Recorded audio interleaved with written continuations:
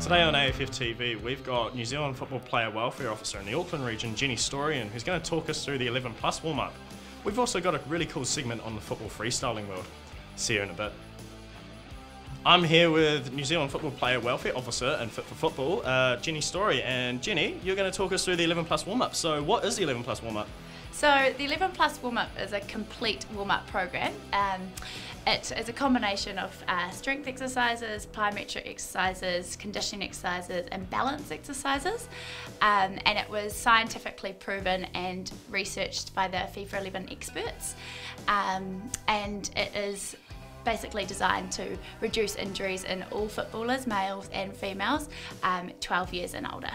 So you say that the whole idea was to reduce injuries, right? Yeah. So just for example's sake, the previous warm-ups that were implemented, what's so different about this? Why was this implemented in, you know, in front of these old warm-ups that we used to do? Well, this is the only warm-up that has been scientifically proven and validated to reduce injuries. Um, so they put a lot of resource, resources and research into this program. So football's really lucky to have it. It's the only sport that actually has a scientifically proven warm-up that's going to reduce injuries. So through their research, they found out that um, by doing the FIFA 11 Plus twice a week, you will reduce your likelihood of um, training injuries by 37%, you reduce your game injuries by 29%, and reduce serious injuries, so they're like ACLs, hamstring tears, anything that's going to put you out for a long period of time by 50%. So the numbers are pretty significant and it's um, pretty awesome that we can really help our athletes be injury free for longer. And do you feel that because there is a, a, kids one, right? Like yeah, 11 yeah. plus kids. So do you feel if these kids are actually taking part in 11 plus warm up from a young age, when they're older, do you feel that's going to help them in reducing injuries? Oh, definitely. Yep. So the FIFA 11 plus got sort of adapted for kids. Um, so 12 years and younger do the kids 11 plus, and um, that's quite a fun warm up, and it's more about ingraining fundamental movement patterns. So teaching our kids how to move properly, how to stand on one leg, how to um, really ingrain those movement behaviours that will, in the long run, make them more less likely to get injured.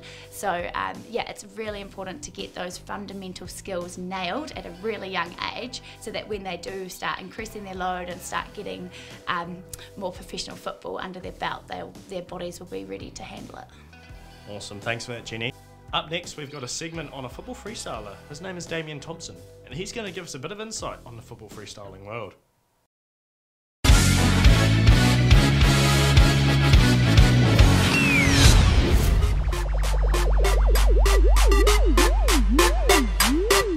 About nine years ago, a friend sent me a video on YouTube of freestyle, and I think that's how a lot of freestylers start generally is from YouTube or now Instagram and I just went out to my back garden, started practicing and practicing every single day and fell in love with it. So I've been doing it ever since. Do you like football?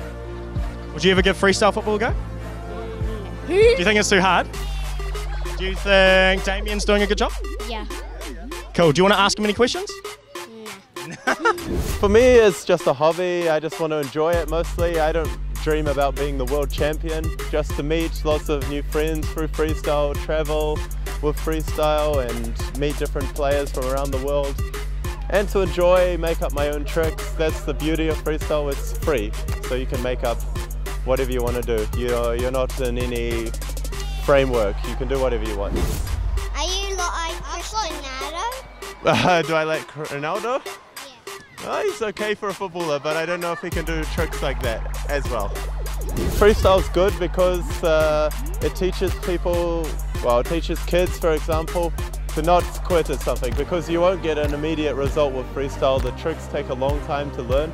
So I think it's good because it teaches people to be patient, dedicated, and we miss that a bit today because people, if they don't get an immediate result from something, they tend to quit. So I think it's a good way of teaching this.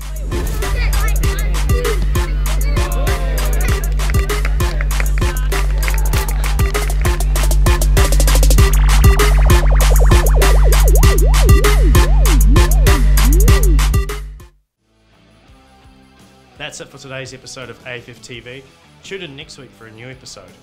Ka kite. We'll see you later.